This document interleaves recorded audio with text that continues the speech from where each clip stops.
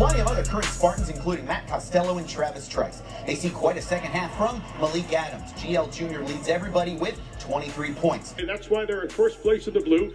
Breakaway slam for Malek Adams. He scored 14 has a lot of great high school football this season. And here you see an unbelievable catch. Malek Adams from Grand Ledge with the grab against East Lansing. And there are a lot of teams that are fighting for playoff first.